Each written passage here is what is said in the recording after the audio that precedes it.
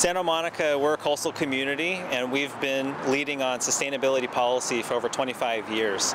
We, are one of the first communities in the world to have a sustainable city plan. And what that plan did was basically establish environmental metrics for the city to measure itself against and gave us targets for which we should strive to achieve. So reducing our waste, reducing our water use, and making sure that we're using energy in the right way.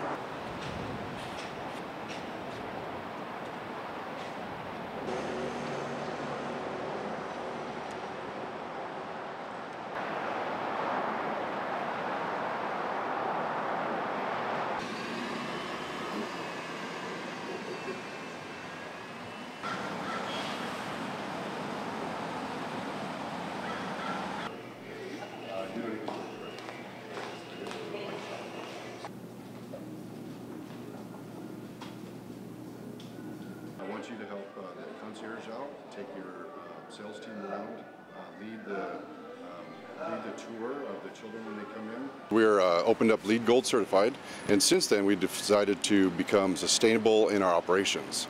That means uh, we have energy conservation, we have water conservation, and we do operational conservation as well. So on the, on the energy side, we've been changing uh, even more of our lights to LED. Um, now we've saved about 31 million uh, watts of uh, energy over the last um, seven years. Um, we also have uh, demand response that we work with on um, Southern California Edison, where we shut off our electricity to 50% for about four hours during peak times uh, throughout the year. So we signed up with that.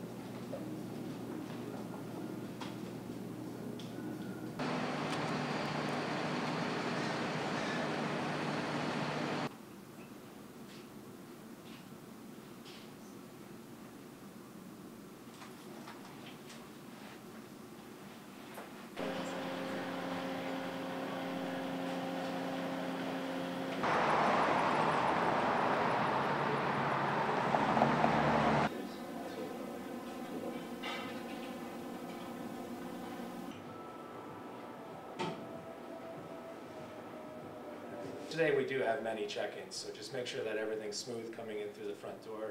Uh, make sure John Paul is there Sustainability is a huge topic here in Santa Monica, and for our hotel, it is huge as well. Uh, leading the way in sustainability and being responsible within the Santa Monica community is one of our top initiatives here at the Hotel Shangri-La. Uh, it even dates to 80 years ago when we were built in 1939. Uh, a lot of the modern aspects and building uh, that was done during that period was itself sustainable. Uh, for example, uh, we have open corridors throughout the whole hotel, which is used as natural air conditioning conditioning in its design.